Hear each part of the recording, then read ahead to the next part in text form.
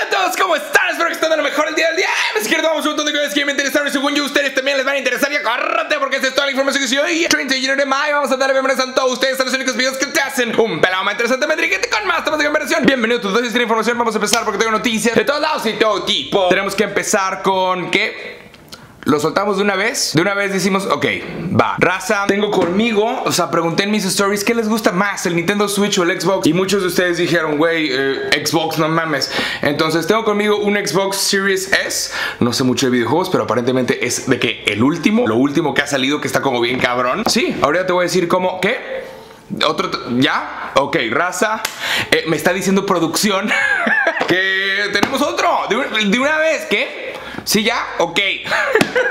tenemos otro. Raza, tenemos dos Xboxes en este momento. ¿Cómo te los puedes llevar? Es bien fácil. Vienen un montón de cosas.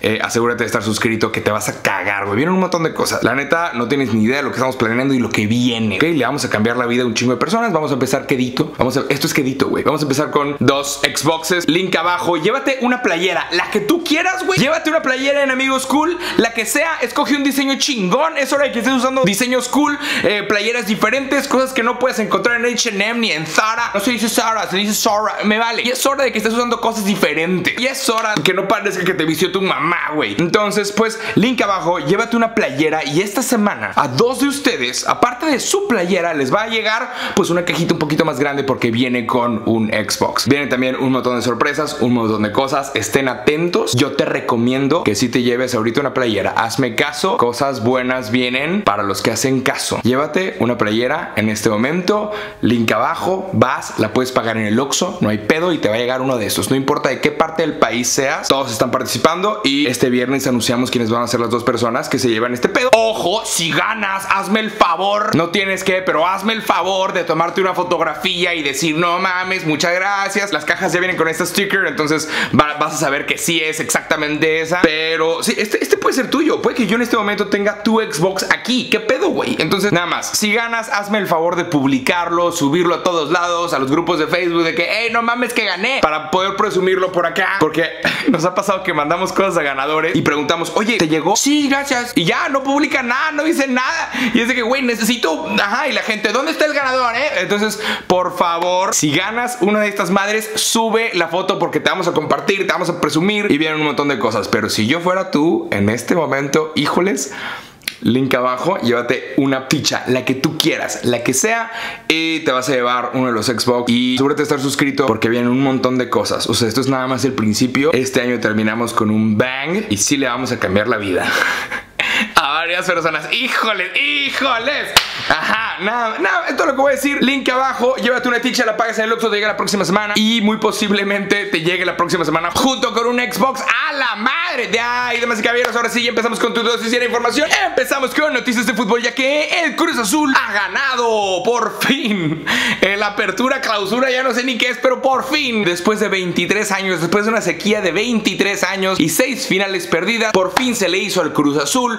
Diferencia de otros equipos, lo chistoso del Cruz Azul era que son un equipo bueno. Sea, este equipo llega y llega y llega a la final y su pedo es que nomás no pasaban de la final. O sea, no ganaban y no ganaban y no ganaban. Entonces ya estaba este término en español que se llama cruz azulear. De que, güey, uy, estuviste tantito, pero valió madres. Uy, estuviste tantito, pero uh, fallaste. Güey, ¿cómo te fue en matemáticas? Cruz azuleé. Por, por fin el Cruz Azul después de 23 años ha ganado. Y listo, son campeones del fútbol mexicano. Felicidades a la raza del Cruz Azul. Hubo un montón de videos, un montón de imágenes de todo reforma, el ángel lleno de personas y es de a huevo. Hay mucha raza que se le ha pasado muy mal este último año y creo que esta es una forma como excelente nada más de darle una alegría a muchas personas que, llevan rato sin una alegría. O sea, la raza del Cruz Azul se lleva rato sin una alegría y ha sido un año difícil para todos, pero creo que si un grupo de aficionados se merecía esta alegría en este momento, posiblemente el Cruz Azul. Entonces, pues nada, felicidades al Cruz Azul. Les deseamos nada más que lo mejor. Obviamente, pues celébrenlo, disfrútenlo y nos vemos la próxima temporada, la cual se va a poner pues bastante, bastante buena. Ojo aquí, sí, todos somos rivales. Si el Cruz Azul no es tu equipo, güey, todos somos rivales, no significa que somos enemigos, ¿ok? Llévate bien con todos, eh, el fútbol es fútbol, es la cosa más importante de las cosas menos importantes, nada más disfrútalo, siéntelo, está padre, no te tienes que pelear, ni llorar, ni sufrirla. Entonces nada más, pásatela bien y si gana tu equipo, pues chingón, celébralo, pero nada más, felicidades a toda la raza del Cruz Azul, les demos nada más que lo mejor y estoy casi seguro que a mucha gente alrededor del país nos dio mucho gusto ver al Cruz Azul ganar. Cómprate un boleto de lotería, llévate una ticha de amigos cool. O sea, güey, cosas raras están pasando. Este puede ser tu oportunidad. De ahí, damas y caballeros. Vamos con noticias que vienen desde China, ya que el gobierno de China el día de hoy amanecimos con la noticia de que le han dado permiso a todos de tener ahora tres hijos. Así es, hace como 10 años la regla era de que, güey, somos un chingo, no mames. Cada familia puede nada más tener un solo hijo. Y luego movieron la ley eh, hace como unos 2, 3 años de que las familias ahora podían tener dos hijos porque notaron que, el triángulo de población eh, se estaba moviendo y, había cada vez como más adultos y menos niños. Todos los países necesitan tener eh, un triángulo como al revés, donde haya como más jóvenes que viejos, porque los jóvenes, el trabajo de los jóvenes son los que pues le dan dinero al gobierno y con eso el gobierno puede mantener a los adultos. El triángulo de México es un triángulo pues bastante joven. Eh, tenemos una población muy joven, más joven que otros países y nuestro triángulo está como bastante saludable. Entonces sí, los jóvenes pueden trabajar y pagar impuestos y con ese dinero se supone que el gobierno debe de poder mantener a los adultos o las personas que lo necesiten, ¿no? Pero hay otros lugares como China, los cuales están empezando a ver este cambio y está empezando a preocupar porque el año pasado salió la noticia de que el número de personas que pueden trabajar, se supone que pueden trabajar correctamente, es de 18 a 53 años. Bueno, en China ese número bajó de los 900 millones. Entonces la población de China está empezando a envejecer, como que no tienen tantos jóvenes, o sea, abajo de 900 millones, hazme el favor, son mil millones de chinos. Entonces esto ya es un problema. Acaban de dar la noticia de que, güey, puedes tener hasta tres hijos, te damos permiso, ya no hay multas, ponte a coger. Entonces sí, nada más, esto acaba de pasar. Expertos están diciendo que esto puede que no sirva mucho, pero pues es que China es la segunda potencia económica global. Estos son la segunda economía más fuerte del mundo y nada más después de la de Estados Unidos y ellos están planeando un crecimiento económico, pero para este crecimiento económico necesitan fuerza laboral, entonces están diciendo, güey, ten hijos, especialmente para este trabajo chino que pues es, ajá, de, que, güey, trabajos como, güey, conectar A con B. Ahorita hay un montón de sitios donde puedes conseguir cosas muy baratas hechas en China y es eso. Tienen un montón de trabajadores, 900 millones de ellos, pero dicen, güey, no es suficiente, necesitamos más porque se vienen como tiempos un poquito más difíciles y ellos quieren crecer todavía más económicamente. Expertos están diciendo que no va a servir de mucho, pero pues vamos a ver qué es lo que pasa. En China ya puedes tener tres hijos. Órale, qué raro es el planeta Tierra, ¿no? Y, uno diría, güey, qué raro que... No, son mil millones de personas que viven bajo el régimen chino. O sea, raro es no ser chino, ¿sacas?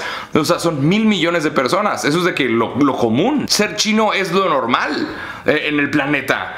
Pero bueno, nada más, ustedes mucho atención qué es lo que opinan al respecto de noticias de China. Vamos a noticias que vienen desde Francia. Este mes fue el mes de la salud mental. Este mes que está a punto de terminar, el mes de mayo, fue el mes de la salud mental y la conversación que sucedió este año estuvo muy interesante porque fue sobre cuidar de la salud mental de las personas que, entre comillas, están bien. Se estuvo hablando de la salud mental de celebridades, de deportistas, de gente que porque tiene un techo sobre su cabeza no se puede quejar y no debería estar mal y qué raro que te estés sintiendo mal cuando tú se supone que, entre comillas, estás bien. Este mes estuvo hablando de la salud mental en todo el planeta, fue el mes de la salud mental y se tocó este tema, el cual está muy interesante. Por ejemplo, se habló de la salud mental de los deportistas. En este momento están las playoffs de la NBA y los fans volvieron a la NBA, volvieron a ver partidos de básquet y ya van como tres incidentes en donde les avientan cosas a los jugadores y los jugadores se vuelven locos de que los tienen que agarrar, los jugadores se vuelven locos y es porque está pasando mucho por sus cabezas, está pasando, está pasando por demasiadas cosas. Su trabajo es literalmente jugar básquet y si no lo hacen bien, reciben un chingo de mentadas de madre. Y, se está hablando sobre cómo a veces normalizamos el faltar el respeto a un jugador de, de algún deporte. A veces normalizamos faltar el respeto porque pues son millonarios y porque ese es su trabajo. La realidad es que no hay una cantidad de dinero la cual si llegas a esta cantidad de dinero ya no vas a tener problemas mentales, ya no vas a tener estrés, ya no vas a tener ansiedad. No, eh, el estrés y la ansiedad son cosas naturales que le pueden pasar a quien sea no importa en dónde esté. Y se ha estado hablando mucho sobre, güey, ajá, la gente que entre comillas está bien, también puede tener problemas mentales y se tiene que revisar este pedo. Y muchas veces, seguramente te ha pasado que alguien minimiza tus problemas y dice, ay, pero tú no te quejes porque tú, inserte lo que sea, tú no te puedes quejar porque tú estás bien, ay, tú de qué te quejas, tú pasaste todas las materias. O sea, es de, ajá, hay veces que la gente intenta como minimizar tus problemas. Bueno, la noticia viene de Francia porque Naomi Osaka, este mes, ella está diciendo, ¿sabes qué? A mí me estresa bastante ir a hablar en frente de los medios, me estresa bastante hablar en frente de la prensa. Mi trabajo es jugar tenis, lo hago bien. Naomi Osaka lleva como cuatro campeonatos mundiales Grand Slam así se les conoce creo. Entonces Naomi Saka es una dura figura japonesa. Llegó al estrellato cuando le ganó a una de las Williams en el 2018 y ella obviamente ha recibido mucha prensa, mucho estrés, mucho odio. Está diciendo, ¿sabes qué? Voy a participar en el abierto francés, pero no voy a hablar con los medios. No quiero hablar con los medios. Entonces, todas las preguntas de los medios hacia las otras jugadoras fue, eh, ¿qué opinas de que Naomi Osaka no está aquí? ¿Qué opinas de sobre hablar de los medios? Entonces, como que la conversación dejó de ser tenis y se volvió, ¿qué pedo con Naomi Osaka? Obviamente la tuvieron que multar por 20 mil dólares. Ella dijo, no hay pedo, los pago. Yo pago los 20 mil dólares, nada más que se donen a una fundación que esté hablando sobre salud mental. Y como la crítica fue mucha, ella el día de hoy acaba de decidir retirarse del abierto francés. Lo cual es enorme, es perder la figura más grande en este momento del tenis femenil, que es Naomi Osaka. Pues nada, vamos a ver qué es lo que pasa. Este fue el mes de la salud mental.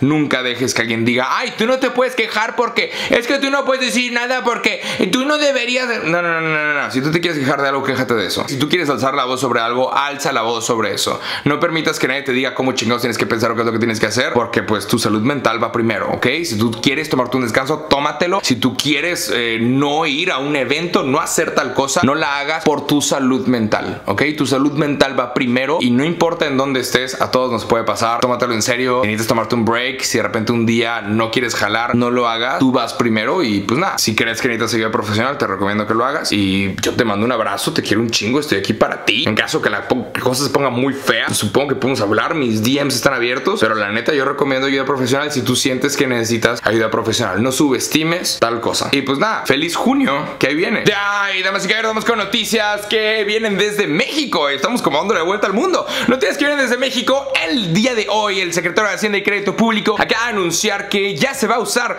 el avión presidencial. ¿Para qué exactamente? El avión presidencial el día de hoy acaba de ir a California, le van a dar mantenimiento y el avión se va a usar para transportar a todos los deportistas a las Olimpiadas de Tokio 2020. Lo cual, honestamente, me parece excelente. Es de que, güey, ese avión no lo vas a vender. Fue un error intentar venderlo. La idea de querer venderlo y querer deshacerte de los lujos del presidente se me hace excelente. La idea de Andrés Manuel López Obrador de, güey, no puede haber un presidente rico con pueblo pobre. Me parece buena idea. Dale, sí, a huevo. O sea, creo que el presidente debería contar con ciertas herramientas para que su trabajo sea lo más eficiente posible y no esté perdiendo el tiempo como otro mortal en el aeropuerto. Creo que el presidente debería tener un jet privado mínimo de 10 personas y que el resto de su staff viaje en aerolíneas comerciales, pero creo que así debería de ser la neta. O sea, yo no tendría un pedo que, el presidente se mueva en avión privado y que tenga toda la seguridad necesaria. Eso de andar en el bochito o andar en el jeta es de que, güey, vete en camionetas blindadas, por favor, porque eres el presidente, güey. O sea, se nos va a caer la economía si algo te pasa, cabrón. O sea, yo no tengo un pedo en que el presidente use ciertos lujos. Idea de, güey, no podemos tener un presidente rico y un pueblo pobre, me parece chida. O sea, sí, a huevo, la idea de hacerse del avión presidencial me parece buena. Ahora, ojo, llega la pandemia, eh, resulta que las personas que pueden comprar un avión de este vuelo no lo necesitan ni lo quieren en este momento porque estamos entrando en una crisis económica. Resulta que un montón de aerolíneas están quebrando, entonces hay demasiados aviones, demasiados aviones a la venta y las aerolíneas que podrían comprar un avión de este vuelo lo quieren pero para pasajeros, entonces no conviene un avión que, que está modificado por dentro. Nadie iba a comprar este avión, aun y cuando la idea fuera buena y fuera noble de sí, güey, deshacernos de los lujos para pensar en los más pobres, aun y cuando haya sido una idea noble, no fue buena idea, no se iba a vender. Eh, hicieron todo un show de, güey, vamos a rifarlo el año pasado, ¿se acuerdan de todos los memes? Hicieron todo un show sobre rifar este avión y fue un desvergue, entonces me parece correcto que el día de hoy hayan anunciado que van a usarlo para otras cosas relacionadas con México, como por ejemplo transportar a los deportistas. Me parece chingón, me hubiera gustado que desde el día uno que se dieron cuenta que era un error, en chinga reconozcan que fue un error y que se va a usar para otras cosas, pero ya no para los lujos de una sola persona. O sea, me hubiera gustado nada más, hey, güey, hey, reconoce el error, no de que la forces y la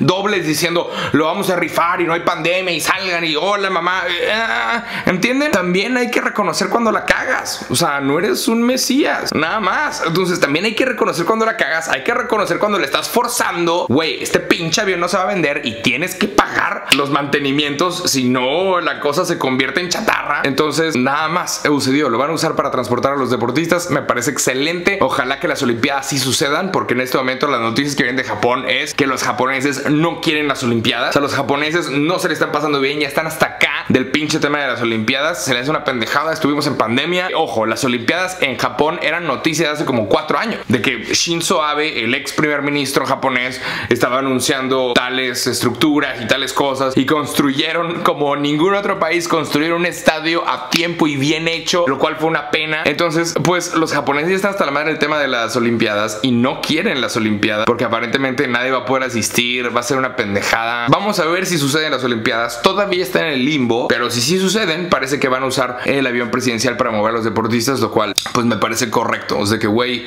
no lo puedes vender, tienes que pagar el mantenimiento. Úsalo, úsalo para un montón de cosas, güey. Llénalo de madres y, ponte a hacer vuelos raros. O sea, lo que se necesita en tal lugar y de regreso y órale, muévelo, muévelo, güey. O sea, haz lo que puedas con O sea, aprovecha, usa las herramientas que tienes. Nada más. ¿Qué es eh, lo que opinas al respecto? A mí me parece correcto. O sea, no lo vamos a vender, no lo vas a rifar, no te puedes deshacer de Úsalo. Es un fantasma que está ahí contigo. Úsalo. Nada más. De ahí, damas y caballeros, vamos con noticias de Riley Reid. Tuve que investigar porque no sé quién es esta chava. Y aparentemente Riley Reid es una estrella porno. Ella decidió abrirse un OnlyFans y le fue tan bien que se acaba de comprar una mansión de 4.8 millones de dólares por OnlyFans. Ajá, se acaba de comprar una casa de como 100 millones de 100 millones de pesos. Se acaba de comprar una mansión de 100 millones de pesos por hacer OnlyFans. Raza.